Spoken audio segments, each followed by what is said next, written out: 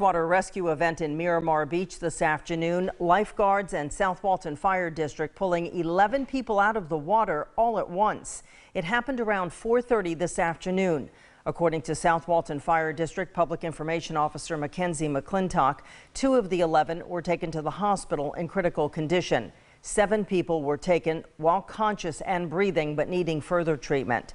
Two of the 11 refused treatment and are expected to recover. Single red flags were flying at the time. Tonight, double red flags are flying on Walton County beaches. It is unlawful to enter the water in double red flag conditions in Walton or Bay County, and that can result in a fine. Earlier